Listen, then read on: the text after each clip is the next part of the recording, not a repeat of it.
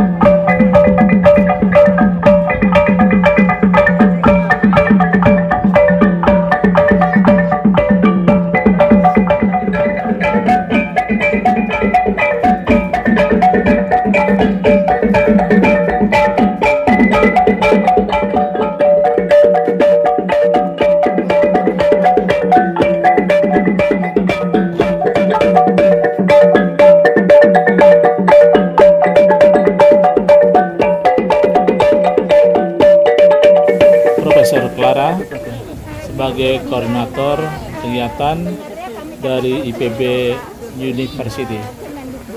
Ya bekerja sama untuk melaksanakan MBKM. Ya, jadi eh, ma- eh, jadi eh, kampus Merdeka Merdeka Belajar. Ya. Kegiatan eh, kampus Merdeka Merdeka Belajar kami eh, dari IPB bersama-sama dengan Undana dan dari eh, apa Roslin eh, Yayasan Kasih Roslin itu eh, ingin melakukan intervensi terintegrasi di desa Tesabela ya untuk menangani masyarakat bebas stunting dan mandiri yang kami katakan mustari Itu tujuan akhirnya di antaranya yang tadi itu. ya bebas ini menuju masyarakat apa anak-anak bebas stunting. Kalau boleh saya eh, ketahui itu istilahnya stunting di NTT ataupun itu istilahnya berapa besarnya itu profitnya? Eh, sekarang ini eh, ada 12 anak yang di desa Di desa ini. Ya, nah, tapi harapan kami eh, kami melakukan juga pendekatan pada ibu hamil dan ibu menyusui dan anak-anak gadis yang atau calon-calon pengantin. Sehingga nanti eh, keseluruhannya eh, bisa menghasilkan anak-anak yang eh, Bebas bebas stunting. Terima kasih Prof. Terima kasih. Ya. Saudara, pada saat ini kami sedang mengikuti kegiatan MBKM stunting di Desa Pesabela, Kabupaten Kupang. Prof. Clara bahwasanya memang ini merupakan gawe besar dan kami mengharapkan eh, dari berbagai kegiatan yang akan dilaksanakan nanti itu bisa memberikan kebermanfaatan dan nantinya bisa menjadikan eh, desa Tesabela ini sebagai desa yang bebas stunting dan mandiri ya. Sambutan kelor dan juga NTT tepung ikan tiga lele yang proteinnya sangat tinggi untuk pencegahan stunting bagi uh, anak-anak yang stunting.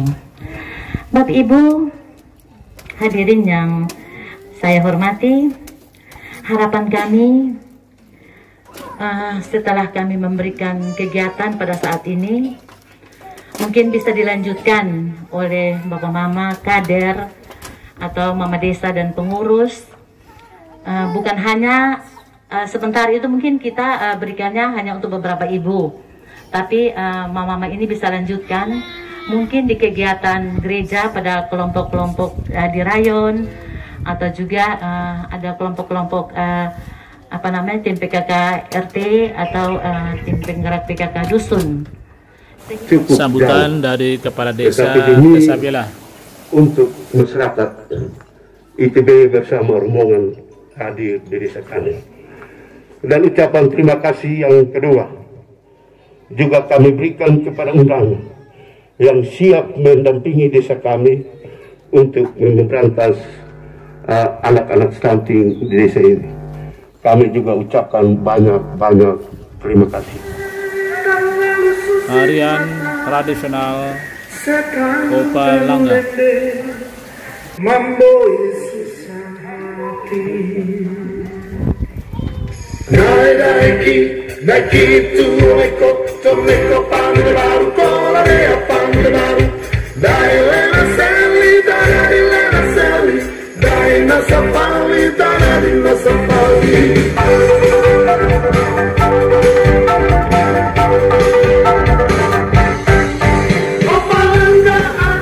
Penyerahan alat pengering kelor kepada desa Desa Waktu kami akan menyampaikan untuk pepaya dan yang eh, dilaksanakan kelor, di desa kemudian juga eh, ada permintaan dari untuk buah. narasumber Yang buah yang yang paling mudah adalah jambu kristal, gizinya tinggi, harganya juga bagus, ya, Eh, rasanya enak. Bapaknya nih pesta nih. Eh, bapaknya bawa makanan kotak. Ya mudah-mudahan bapaknya nggak makan lagi yang di kotak ya. Jadi untuk ibunya gitu loh ya. Kenapa? Karena kasihan anaknya. Karena bapaknya kan bapaknya makan, anaknya nggak ikut makan. Karena kan yang dikandung itu ibunya yang mengandung ya, sehingga ibunya yang perlu dikasih makan. Misalnya nih, oh ada telur dua butir, ini yang dikasih makan siapa ya? Bapaknya dua butir atau ibunya? Ah ibunya.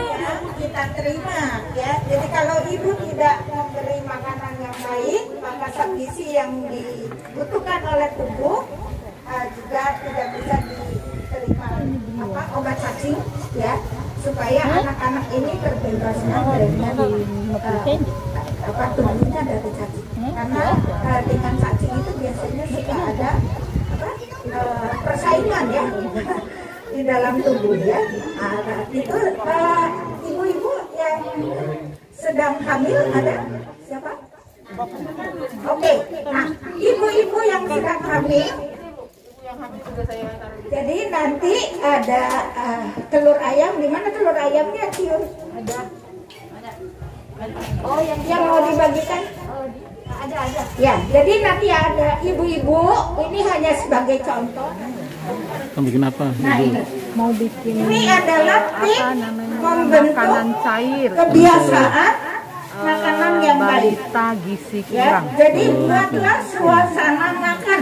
nanti Ini juga bahan baik. bakunya Jadi kalau dari bisa nanti kalau tepung lele agak sore atau tepung malam bapak sudah hadir di rumah, Tepung bolehlah kelor. adakan makan bersama. kemudian Ya, jadi jangan hanya anak-anak dikasih makan terus lele. sendiri, tapi pada hari tepung Sabtu lele. Minggu mungkin hari keluarga ya itu bisa diadakan terus apa makan bersama Susu ya, full cream. dengan bersyukur dan sebagainya sehingga yang gizinya eh, Terus apa, tinggi semua ya? Tepung soya. keluarga yang utuh Gizi ya. tinggi. nah terus Ya, nanti dan tambahannya contoh-contoh untuk makanan yang bergizi ya jadi upayakan Dengan minyak makan lele. bersama keluarga minimal Ini satu bahan-bahannya kali ya, ada racik.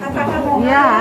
ya atau mau pagi kalau tidak upayakan juga mungkin sebagai orang Bahan dari apa? jagung. Tepung jagung. Iya, sama apa ragutnya dari tepung kelor sama tepung ikan lele. Oh itu. Kalau ini kroket singkong. Kroket singkong. Iya, kroket singkong juga isinya dari ragut dari tepung kelor sama tepung ikan lele. Ikan lele. Iya. Berarti makanan bergizi ya. Iya biasanya dikonsumsi untuk itu orang dewasa atau anak-anak bu? Uh, ini untuk semua kelangan, bisa hmm. untuk anak balita, anak-anak remaja juga orang dewasa. Iya. Kita ambil menu yang yang praktis bisa untuk semua, semua. umum. Ya. Nah, supaya ada ya. Kalau tidak dengan perasaan air eh, minyak sudah saya ukur ini nah, 12 gram ya. Minyak uh, kalau tidak ada yang pencegahan jadi buah yang kena itu buang jauh-jauh. Jangan disimpan di sekitar tanaman kita. Tapi jangan dibuang ke kebun orang. Nanti sama ngasih penyakit ke kebun orang laporan kami Jadi buahnya desa di Desabila apa? Dikubur. Berjumpa betul dikubur. di buah yang terserang itu dikubur. Jangan Terima sampai kasih. ada di sekitar buah kita eh, kebun. Kita.